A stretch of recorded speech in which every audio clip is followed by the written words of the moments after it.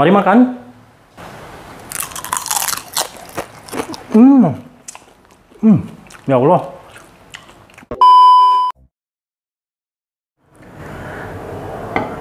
Assalamualaikum kawan. Jadi hari ini saya akan membuat cemilan yang super gampang, super praktis, dan super hot.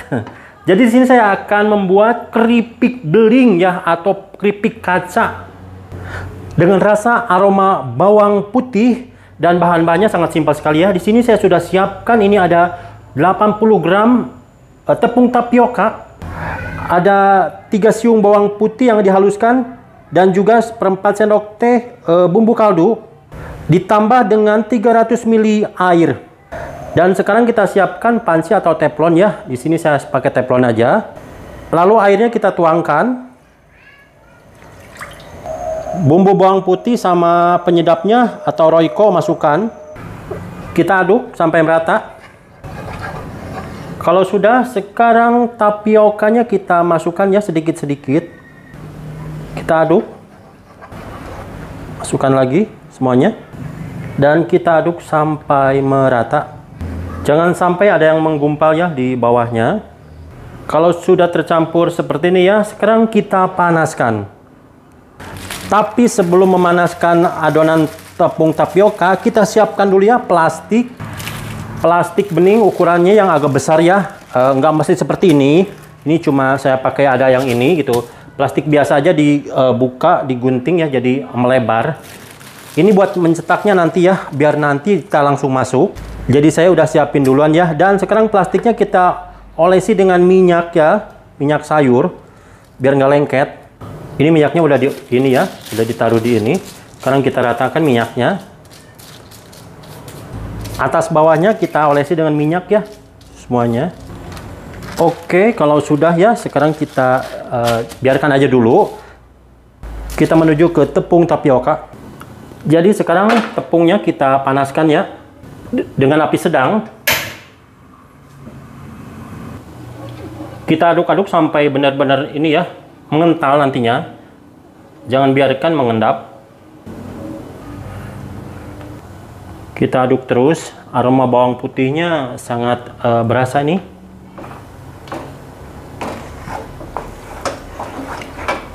Dan kalau sudah mengental seperti ini ya, sekarang apinya kita kecilkan.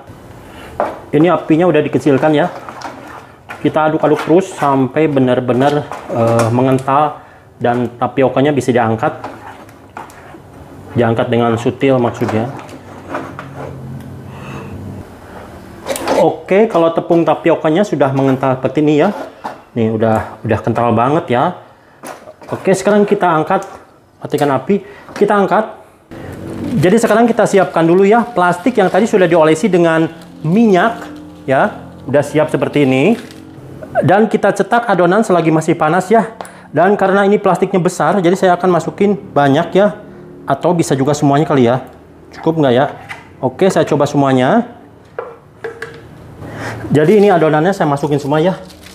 Lalu kalau udah gini, plastiknya kita tutup dengan plastik sebelahnya lagi ya yang sama-sama udah diolesi minyak seperti ini ya dan sekarang kita tipiskan atau kita giling kita roll ya saya punya punya ini roll yang seperti ini kalau nggak kalau teman-teman di rumah nggak punya bisa pakai botol kosong oke kita ratakan dan pipihkan setipis mungkin ya oke kalau sudah semua ya tipis seperti ini nih ya sekarang kita jemur ya sampai kering tapi jangan lupa plastik atasnya ya kayak gini Nanti pas jemuran kita buka atau kita uh, kletek ya. Jangan dua rangkap seperti ini nanti nggak kering. Oke kita jemur ya. Ini udah tipis banget. Oke jadi sebelum dijemur saya mau kletek aja sekarang seperti ini ya. Nih plastiknya dibukain. Kalau sudah terbuka seperti ini kita jemur sampai kering. Oke ini keripik kacanya udah saya jemur ya. Kita jemur sampai kering.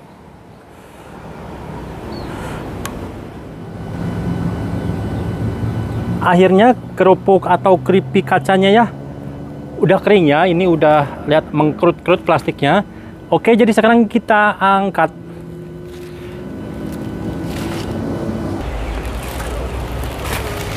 oke ini dia kerupuk kacanya ya.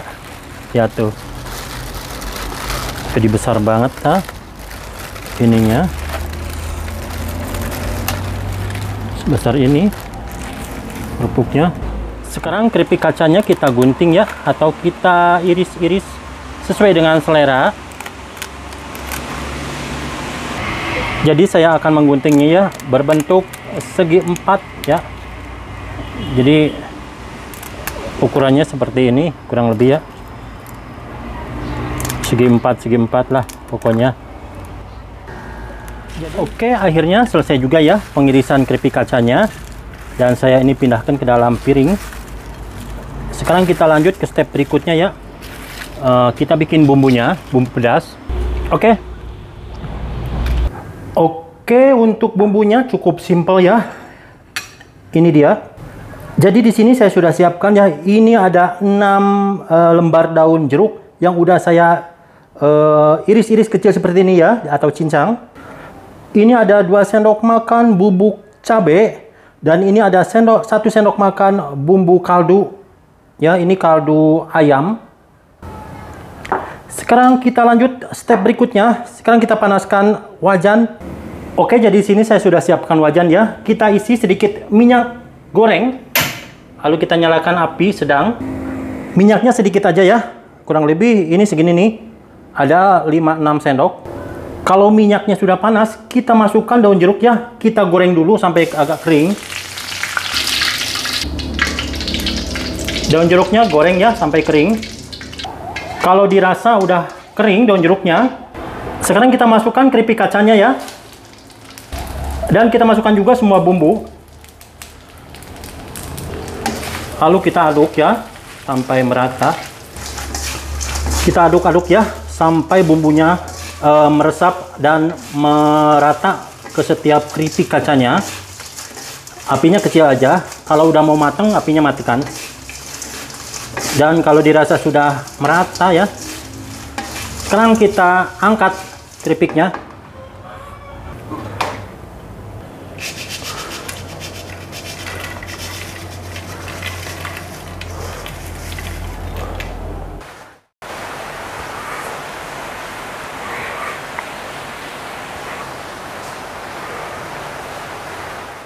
Dia kerupuk atau keripik kaca pedasnya udah siap.